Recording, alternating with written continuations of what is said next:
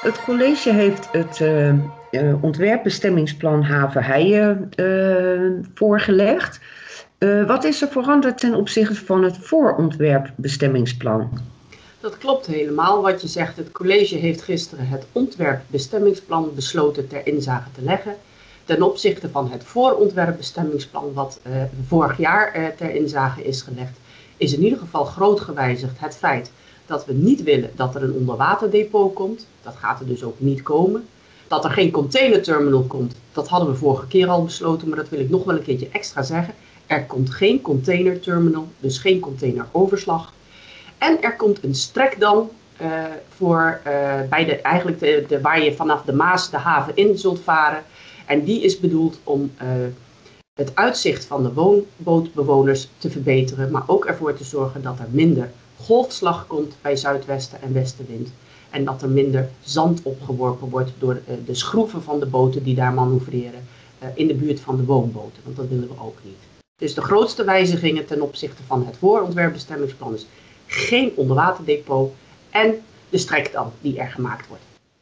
En wat betekent dat bijvoorbeeld dat er geen onderwaterdepot komt?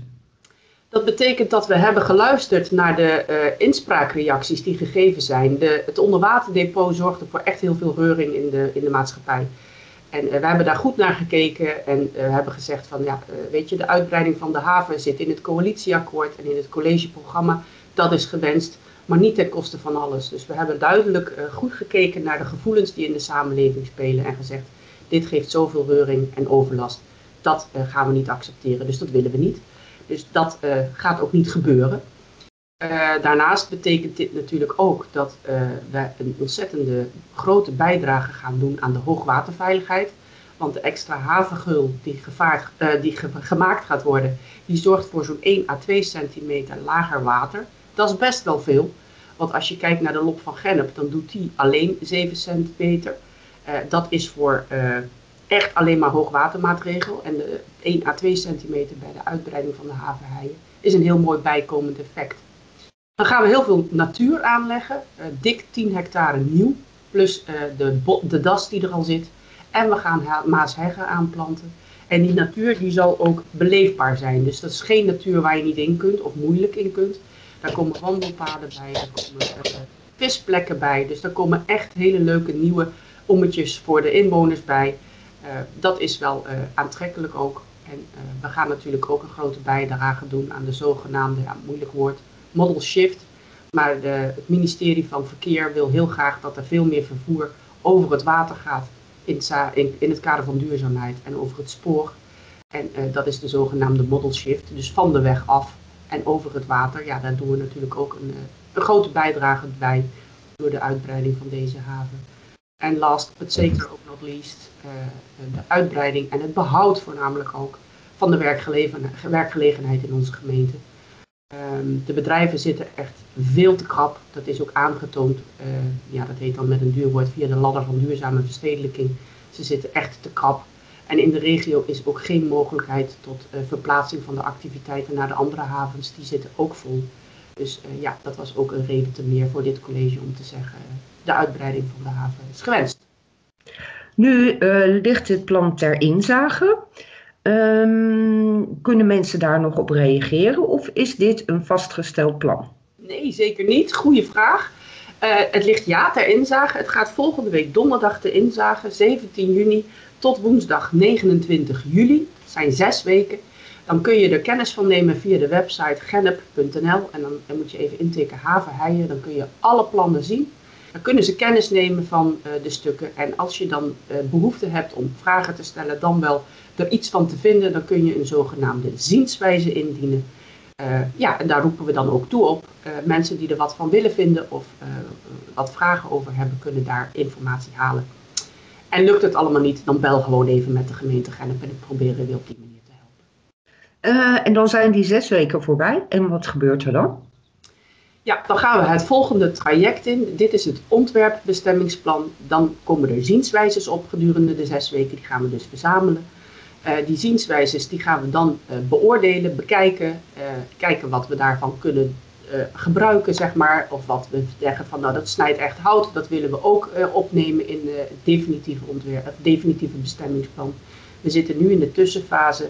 Met deze inspraakreacties gaan we richting de eindfase en dan krijg je het definitieve bestemmingsplan. En dat moet natuurlijk voorgelegd worden aan het hoogste orgaan van de gemeente Gennep en dat is de gemeenteraad. Die moeten dat uiteindelijk goedkeuren. Maar dan zijn we wel veel later in dit jaar. En uh, is er op een andere manier nog mogelijkheid tot uh, inspraak? Komt er bijvoorbeeld een informatieavond? Of? Nee, informatieavond komt er niet. Uh, dat is ook een beetje lastig in de huidige situatie met corona. Maar daarnaast hebben we samen met de initiatiefnemers besloten om hele kleine, maar wel hele interessante excursies te gaan organiseren. Daar kun je je vanaf volgende week voor aanmelden via de website van de gemeente Gennep. En die excursies gaan met de mensen die dat willen echt het gebied in. Uh, om daar te plaatsen te kijken van wat gaat hier nou gebeuren en wat vind ik ervan. En je kunt dan ook vragen stellen, je krijgt er een beter gevoel bij. Dus we gaan echt ter plaatse kijken met de mensen uh, op de verschillende thema's. Dus er komt bijvoorbeeld een uh, excursie voor toerisme. Dus hoe gaat, die hele, hoe gaat het er allemaal uitzien? Wat kan ik er allemaal doen straks? Hoe gaat de natuurontwikkeling? Hoe gaat de verkeersafwikkeling? En bedrijvigheid in het algemeen. Dat zullen zo even grosso modo de thema's zijn waarvoor excursies georganiseerd gaan worden. Uh, waar je op in kunt schrijven. En ik begrijp dat er ook nog een, uh, een dingetje is met het verkeer in, in het gebied. wordt daar nog iets aan gedaan? Ja, bij de stukken zit op dit moment een studie. dat is variant 7a. Maar goed, dat is voor de fetischisten die alle 3000 pagina's door willen akkeren. Uh, er zit een studie bij en dat betekent dat de uh, in- en uitrit of in- en toerit van de kern Heijen gaat veranderen. De fantasiekruising wordt opgelost. Daarmee nemen we ook meteen mee het fietspad wat van Heijen naar Gennep gaat. Dat wordt verbeterd. dat wordt ook meer gescheiden van de hoofdstraat, zeg maar. Op de hoofdstraat zelf komt fluisterasfalt, zodat de overlast duidelijk verminderd wordt. Dus, uh, en de fietskruising of de fantasiekruising, die wordt echt aangepast zodat mensen veilig uh, daar kunnen oversteken en richting Gennep willen fietsen of terugkomen richting Heijen. En het verbeteren en veranderen van die fantasiekruising geeft ons ook de gelegenheid om samen met de initiatiefnemers de entree van de komheien, van de kernheien, te verfraaien, te verbeteren, groener te maken, ruimtelijker te maken en echt gewoon een kwaliteitsslag te slaan. Dus ook dat gaat gebeuren. Dus u ziet de toekomst zonnig tegemoet voor Havenheijen?